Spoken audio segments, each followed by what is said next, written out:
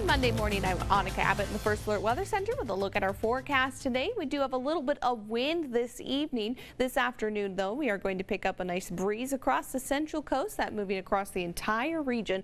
And then as we hit those evening hours, moving on to the south coast. So right around 6 p.m., this is when we do have a wind advisory starting on the south coast and the Santa Barbara County Mountains. But you can see it doesn't really start to get too windy until later in the night. Most of that activity is going to be to the west of Goleta. Here's a look at that wind advisory starting up again at 6 p.m. lasting through early tomorrow morning at 3 a.m. and we are seeing winds about 20 to 35 miles per hour, some gusts even stronger than that. So if you are driving a high profile vehicle on the 101 around that bend there in Gaviota, going to get a little bit windy. We are seeing this ridge of high pressure right around the southwest U.S. Some of those winds tonight we're really clearing out as our heights are rising, also warming up by a couple of degrees today and a few more as we go into tomorrow, which is likely to be our warmest day of the week. That ridge of high pressure going to be moving into the triple point region right around California, Nevada, and Arizona. That marine layer continuing to be really, really shallow, so seeing a lot of sunshine in our future.